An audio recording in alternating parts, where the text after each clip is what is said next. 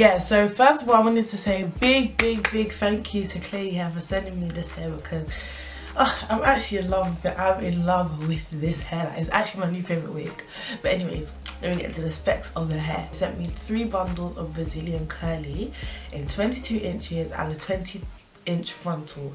Now first thing i want to say is this hair texture is amazing. Like beautiful hair. The lace on this frontal, the lace of this frontal, yeah, thin, thin, thin ass lace. Like this is the kind of lace that I have people saying what lace because what lace, like what lace. But um, more importantly, this hair was slayed, slayed to the gods by my friend called um, Kathy. She does hair. Her Instagram is gonna run so well Obviously it's curly hair, so in terms of tangling, it does tangle and it does shed. However, it's curly hair, so curly hair will tangle and shed anyways. And the tangling is minimal, like it's genuinely minimal. Like even today, today I haven't, I haven't brushed his hair. I haven't brushed his hair and as you can see like it's just it's big it's beautiful and it's not tangly like my hands are not getting tangled my hands are not getting broke up, broke up in the hair. Like it's actually all good. Um, in terms of shedding, I would say when I do comb the hair, obviously hair does come out, it does shed a bit. But like I said again, it's curly hair. Curly hair tangles and it sheds.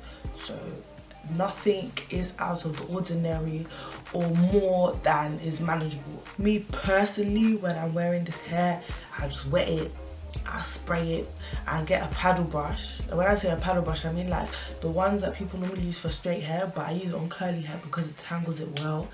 use that, get some water, get some mousse, get some oil to lock in the moisture, make sure the curls are defined. And then I just, I just wear it like this.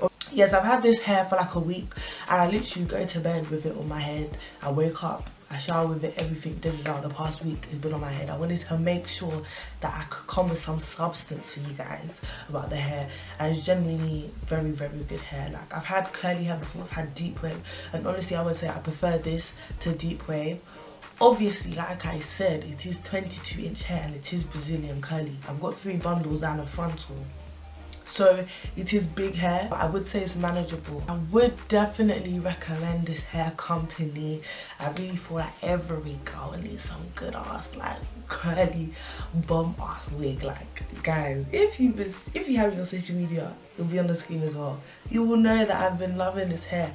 I've actually been loving it um, and i've been getting so many compliments as well. Like it's just really really good quality hair as well. It looks nice and it's quality. And i'm genuinely saying this i wouldn't put out a hair review if i didn't think the hair was that great I would say how it is, but I genuinely think it's that great. Yeah, anyways, thanks for watching the video. I'll leave all the hair description, all the all the details, everything of this hair down below. I definitely give this hair like an 8.5, 9 out of 10.